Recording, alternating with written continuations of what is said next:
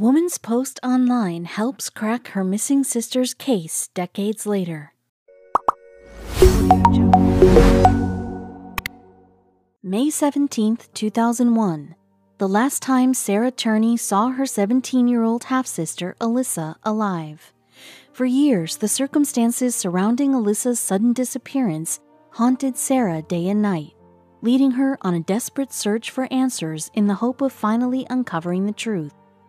But as Sarah dug deeper into Alyssa's mysterious fate, she discovered that the one person she spent years protecting was actually the one she should have feared most. Strangely enough, her sister's disappearance didn't faze Sarah much at first. Alyssa would talk openly and often about her desire to run away to California. So when the high schooler vanished on that May morning, 12 year old Sarah wasn't surprised. In fact, Sarah even found a note left behind in Alyssa's room, seemingly confirming that she was headed for the Golden State. It still hurt to be without her, but at least Sarah could rest assured that her sister was safe and chasing her dreams. Surely she'd have to come back eventually. I wasn't worried, Sarah told People. I was under the impression that she was going to be back. I don't think her being gone forever was anything that ever crossed my mind. After all, Sarah had already seen enough tragedy for one lifetime. When Sarah was just four years old, her mother, Barbara Strom, died from lung cancer. The Turney family vowed to stick together in the wake of their tragic loss. Following Alyssa's disappearance, however, this pact suddenly seemed to lose its meaning. That's because before long, strangers and friends alike began accusing Sarah's father and Alyssa's stepfather, Michael, of having a hand in his stepdaughter's disappearance. Sarah was quick to defend him. After all, what kind of person would dare harm their own child? Sarah's confidence combined with Michael's standing as a former sheriff's deputy helped shift some of the suspicion, though even his fellow officers couldn't help but feel something wasn't right. For a man who insisted he had no idea what happened to his stepdaughter, there sure were a number of clues to the contrary. For starters, on the day Alyssa vanished, Michael told police he'd taken her out for lunch, though he dropped her back at home after the two had an argument. He then claimed that, fuming from their fight, Alyssa had run off to stay with an aunt who lived in California. When police contacted the aunt, she said her niece never showed. A week later, Michael reached out to police again, telling him Alyssa had called him from a payphone in Riverside, California. Before the officer could ask him any follow ups, he immediately ended the call. Was this the erratic behavior of a grieving father, or was there perhaps something more? With no formal evidence against Michael, the police began pursuing other leads, though these too failed to turn up anything on Alyssa's whereabouts. Frustrated, Sarah decided there was no point in waiting around any longer. It was time to take matters into her own hands. And so Sarah became her own private eye, creating a website dedicated to finding justice for Alyssa and searching for answers however she could. Yet, time and time again, her findings only seemed to add more weight to the whispers she'd been denying for years. Maybe her father had done something to her sister after all.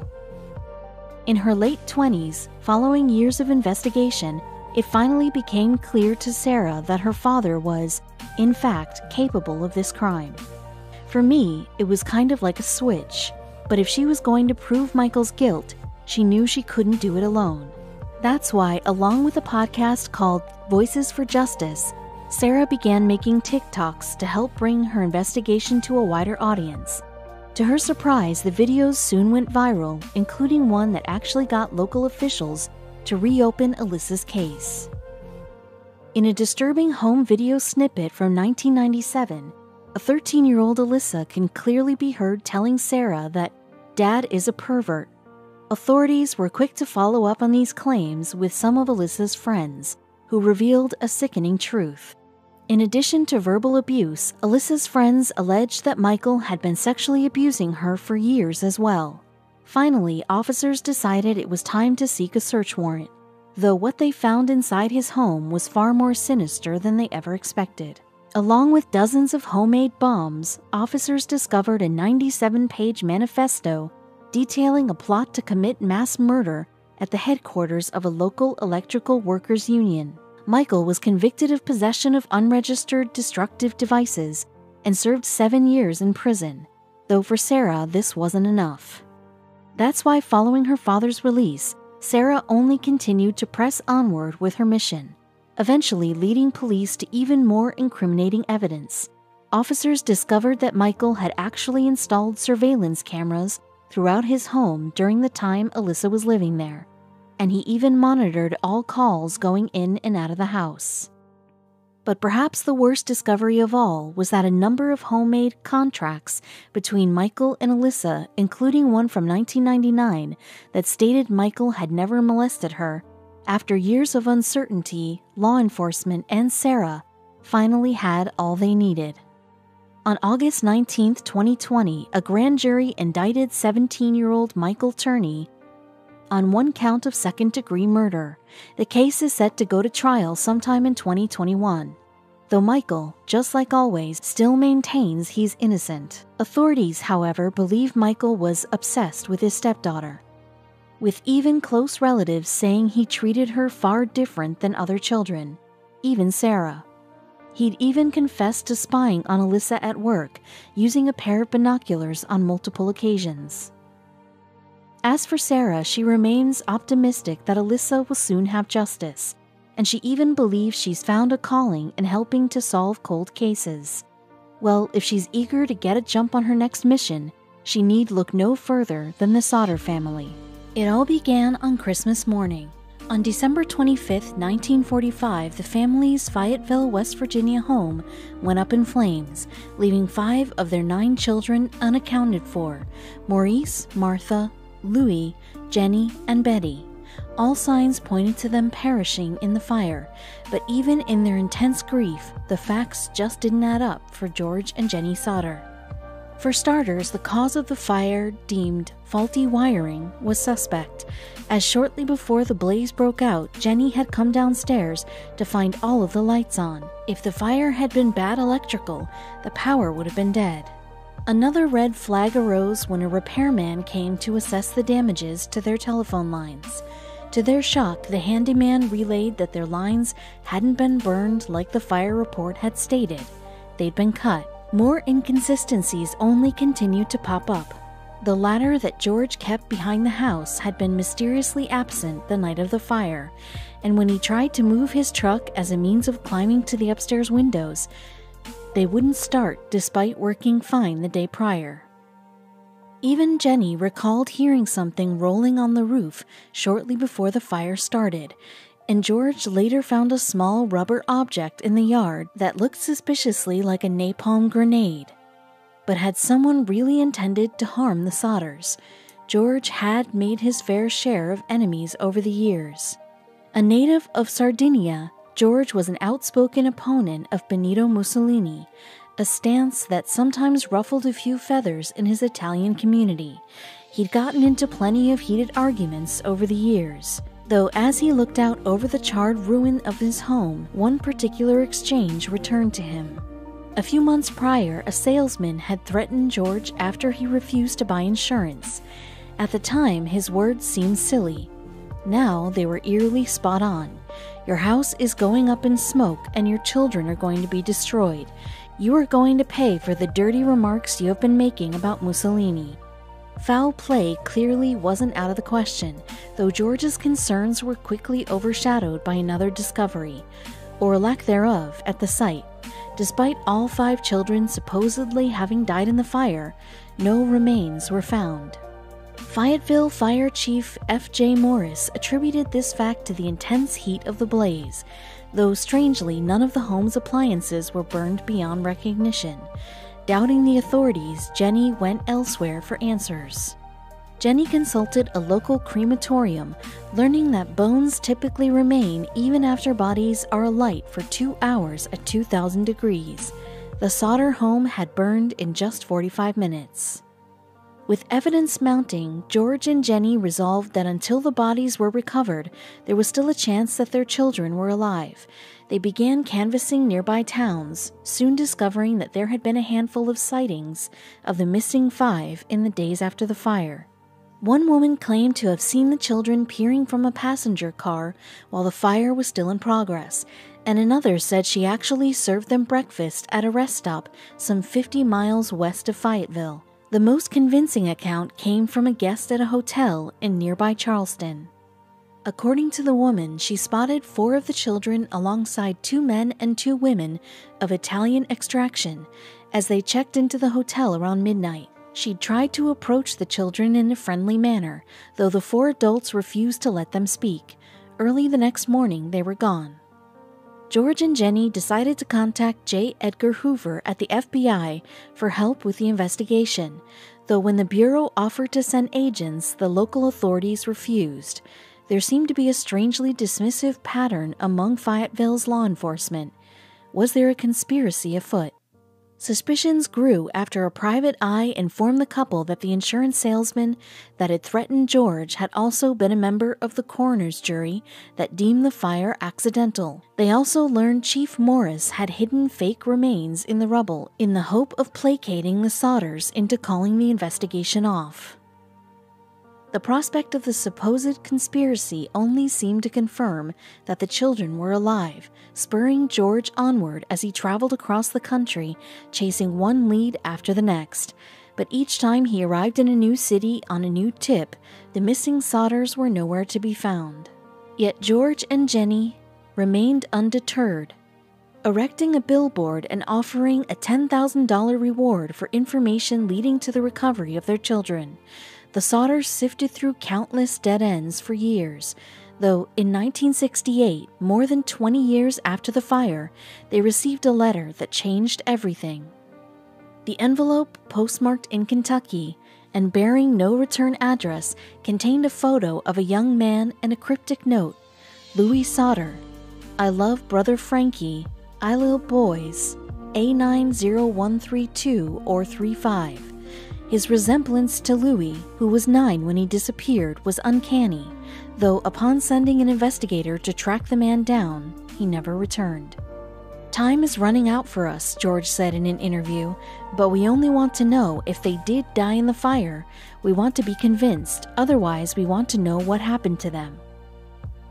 But George died a year later, and after two more decades of fruitless leads, Jenny passed as well, the surviving Sodder children took up the search in their stead, devising their own theories for what happened to their siblings on that fateful night. Trouble with the Mafia was floated as a plausible motivation behind a possible abduction, as George very well could have provoked the mob with his outspoken nature. If their siblings were still alive, there's a chance they never reached out in order to protect the family. Yet death ended this new wave of inquiry as Sylvia Sodder, who was just two years old the night of the fire, is now the only surviving child of George and Jenny. She still continues to tell the story of that tragic Christmas Eve in 1945, hopeful that even 75 years later, her brothers and sisters may still be alive. And Sylvia is not hopeless in her search. With advances in investigation technologies, authorities are now regularly solving centuries old crimes. Even masterful cover ups are being exposed, ones that hit a little too close to home, as in the case of Sherry Rasmussen. Until recently, Sherry's case, like the five missing Sodders, was impossible to solve.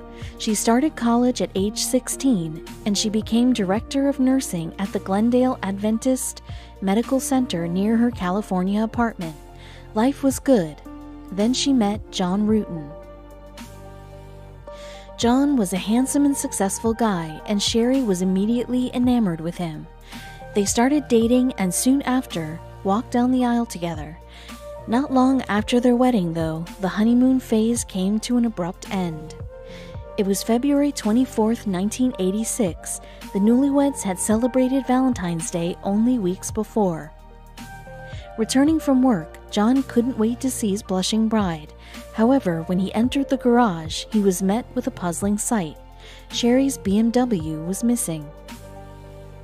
Continuing into the living room, he turned the corner a horrifying scene awaited him. Furniture was everywhere, a clear sign of a struggle. Someone had attempted to push the panic button unsuccessfully. Then he saw it Sherry's body, His beautiful wife was lifeless on the floor, covered in a blanket with a bullet wound through her chest and a clear bite mark on her body. He called the police, never anticipating that it would take nearly three decades for her killer to be brought to justice. But the Los Angeles Police Department wasted no time launching their investigation. Officers' early conclusions were that her death was the result of a botched robbery. The killer, they said, had intended on simply taking electronics and leaving. There was major problems with this theory. First off, Sherry's car was found a mere week after the body, ditched on the side of the road. In fact, the only item police could say with certainty was taken from the home was her marriage license. This just didn't add up. Then there was the bite mark. While lead detective Lyle Mayer staunchly insisted it had been a robbery, his partner Steve Hooks wasn't so sure. He knew that most burglaries are perpetrated by men, while women are far more likely to bite their victims. Then Sherry's parents dropped a bombshell. Desperate for answers, the Rasmussens asked Mayer to train his efforts on Officer Stephanie Lazarus below. Sherry had evidently expressed a fear of this law enforcement agent in the time leading up to her murder. But Mayer refused and the case went cold. What the police didn't know was that the grieving parents were onto something. See, John came with some little known baggage. Before meeting Sherry, he'd been in a passionate romance with Stephanie. When Stephanie and John first met, their relationship was normal. However, Stephanie soon started leaving him deeply unsettled. She took pictures of his naked body as he slept and took clothes from his apartment. If that's not a red flag, what is? John tried to cut things off with his lover after meeting Sherry, but her actions only escalated. It was clear that she carried a deep obsession for him, and perhaps an even deeper contempt for his wife. Soon the wrath would be projected onto Sherry as well. Stephanie started showing up at the young bride's apartment when she was home alone, often armed and in uniform. Sherry told her father about an incident in which Stephanie showed up at her job, allegedly threatening her. If I can't have John, no one else will. Despite this alarming evidence, the case sat in its file until 2004 when LAPD criminalist Jennifer Butterworth noticed items had gone missing from the case's evidence bag. Thankfully, one crucial piece still remained. Saliva extracted from the bite mark on Sherry's body all those years ago was perfectly preserved.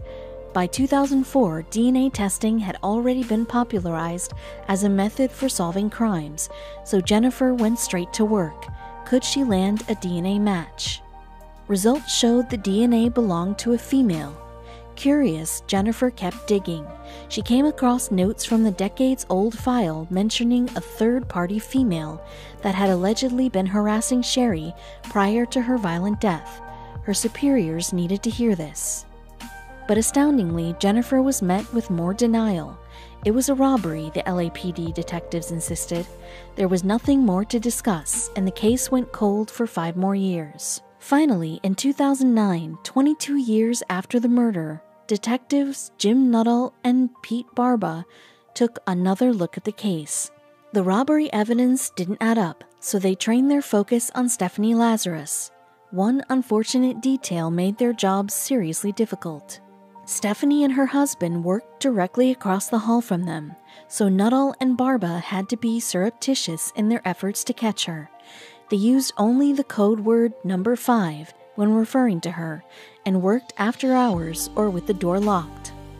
Finally, they secretly secured a sample of Lazarus's DNA and tested it against the saliva found at the scene.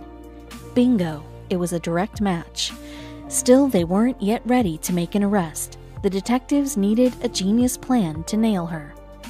Nuttall and Barba lured Stephanie to a site where she was forced to disarm herself. Then they caught her off guard with an interrogation.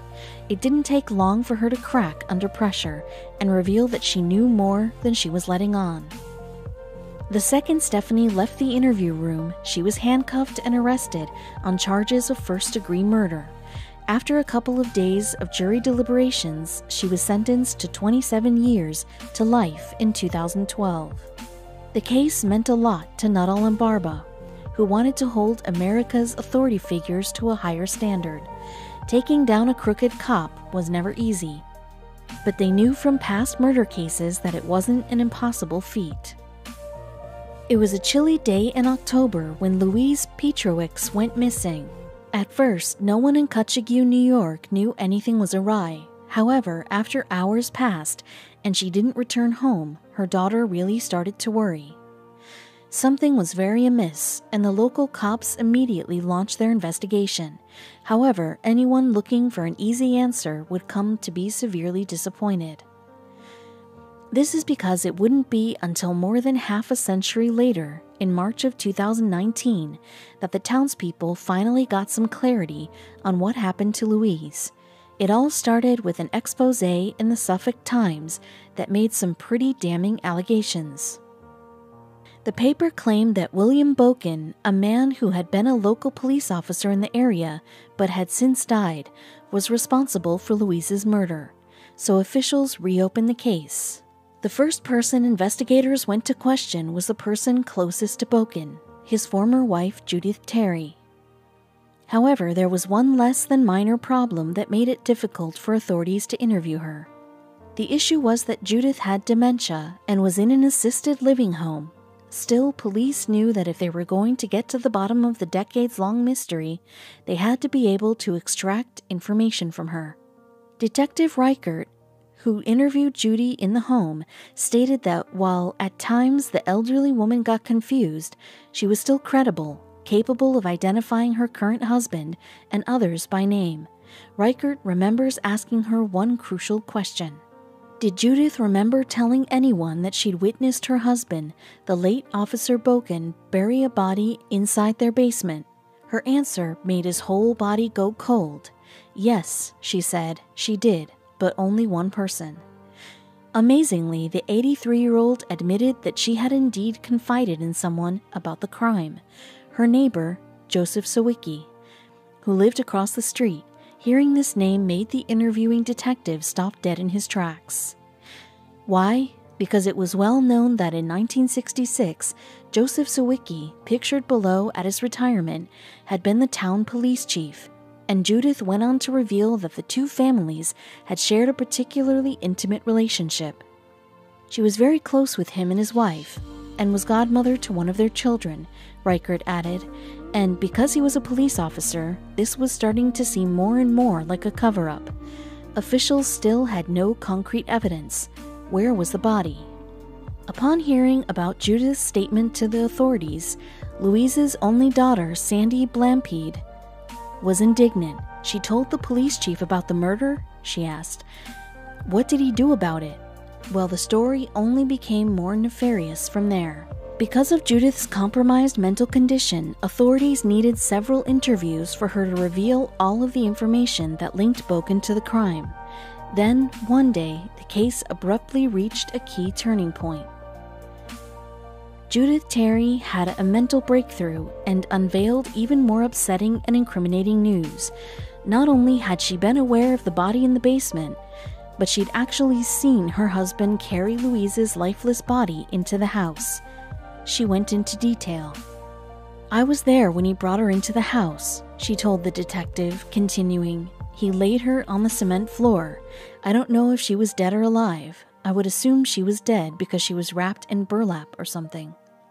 Judith and Boken had indeed stowed Louise's body in their basement. She then drew a diagram from memory, including what she could recall about how deep the hole was. This would lead to a horrifying discovery that no one could have anticipated. After following Judy's diagram, officials found Louise's remains buried seven feet below the ground in the exact spot she'd pointed out. However, they also found something else one crucial piece of evidence that fingered the real killer. Along with Louise's remains, 38 caliber bullets were found in the hole. Records stated officers at the time were mandated to carry 38 revolvers. Reports also indicated Boken had used three sick days immediately leading up to Louise's vanishing and resigned the day after she went missing. The only thing left to do was try and give some semblance of closure to Louise's daughter, Sandy.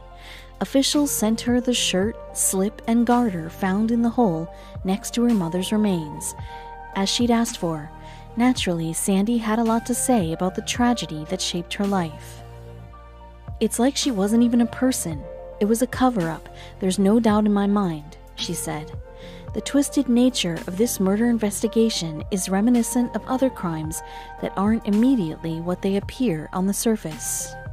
Helen Hargan was beginning a brand new season of life in 2017. As a recent college graduate, she was looking for a safe place to land for a while, as she was waiting for the construction on her new home to be done. Luckily, her mother, Pamela Hargan, left, owned a stunning colonial style home in the cushy suburb of McLean, right outside of Washington, D.C. Though her children were all grown, Pamela was not an empty nester. Pamela lived with her niece and oldest daughter, Megan, who had a seven year old daughter of her own, so the household would become five if Helen joined the four of them. It seemed like a perfect plan. There was just one problem. Helen was the proud mom of three large dogs. Pamela said Helen was, of course, welcome to come live with them for a while, but there would not be enough room for her dogs. Helen had a very tough decision to make. In the end, she decided it would be best for her to board them. It would be a temporary measure until she could move into her new house with her dogs by her side. The day she dropped her beloved pooches off, her heart broke a little. But Helen was compassionate and hardworking, which meant that nothing could stop her from getting her dogs back and making a life for herself. In the interim, she was happy to spend time with her family after being away at college. Except only a few months into her stay with her mother and sister, the most unexpected tragedy struck. On July 14, 2017, Fairfax County Police answered a call from the Hargans' neighbor. The aftermath rocked the suburban neighborhood and shattered a family. There were reports of gunshots from the Hargan home. When officers arrived on the scene, it was haunting. Pamela was found dead of a gunshot wound on the first floor officers began to search the house for other victims, or possibly a suspect. Upstairs, they found Helen's body with a gunshot wound, which appeared to be self inflicted. It was obvious to the investigators that a murder suicide had occurred. Helen had killed her mother and then taken her own life. But why? How?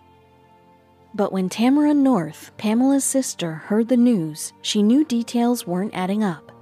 Helen was happily in love with her boyfriend and excited to move into her under construction home with her dogs. It didn't make sense, she said. She was beautiful and smart, North said.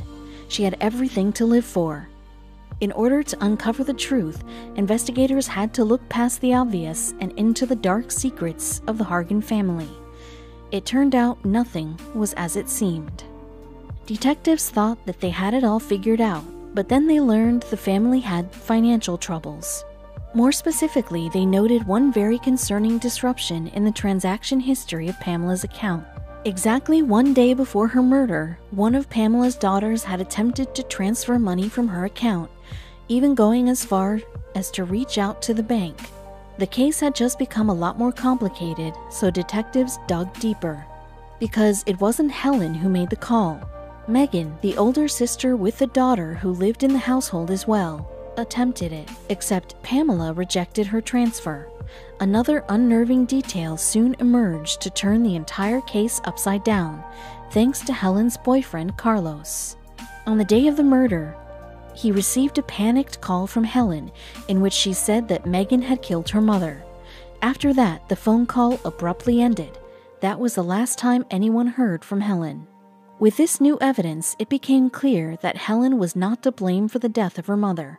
Megan had staged the entire crime scene, blaming the murder of her mother on her sister after murdering her as well. But why? Allegedly, Megan was jealous of her sister because Pamela was purchasing her a home to live in, while Megan still lived with her mother. The whole ordeal left the family shaken. I was absolutely horrified that Megan would do this, said North. Still, there was a trial to come. It was a full year before police built a strong enough case against Megan to make their arrest. For that entire time, Helen was blamed for the death of her mother. With the truth out, the narrative changed. Helen didn't deserve that, said North. Helen was taken unfairly and far too soon. She was full of potential until it was all ripped away by her own sister. It's hard to imagine a more twisted crime. Sadly, the tragedy left Helen's beloved dogs without a home. Luckily, Tamara Bellotti was in charge of boarding them when the dogs were dropped off, and she continued to care for them at her own cost. She would do anything for these dogs, Bellotti said of Helen.